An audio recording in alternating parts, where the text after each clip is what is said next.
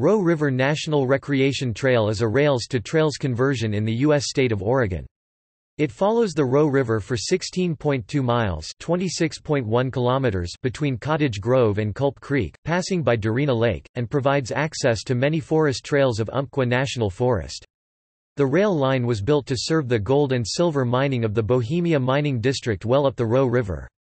The mines were closing by the time the rail line was complete, but the region's old-growth timber attracted many logging operations and communities that kept the rail line busy.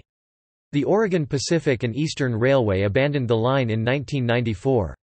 A timber sale default resulted in the Bureau of Land Management taking the rail corridor in exchange for payment. There are three historic covered bridges near the trail, the Mosby Creek Bridge of 1920 Currin Bridge of 1925, and the Dorena Bridge of 1949.